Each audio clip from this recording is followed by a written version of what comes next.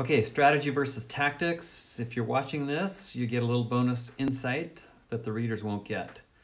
Um, because I'm going to talk about, I'm going to frame uh, strategy versus tactics and then talk about a failure. So, being a great climber is a strategy, attacking three quarters of the way up the climb is a tactic. Being a great sprinter is a strategy, following your lead out rider is a tactic. Eating like an athlete athlete is a strategy, skipping cake tonight is a tactic. Getting as aero as possible is a strategy, riding in the drops is a tactic.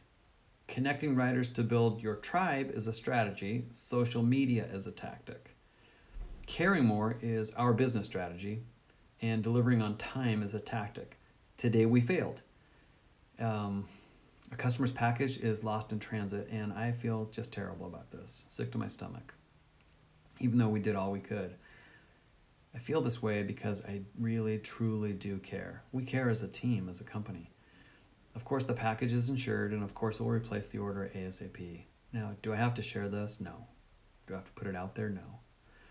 I could easily just act like everything is always perfect, but it's not. Things can and do go awry. Uh, my grandpa, who I'm named after, used to always say, It's not the problem, it's how you handle it. And we'll handle this because we care. We'll handle it as quickly as possible because we care.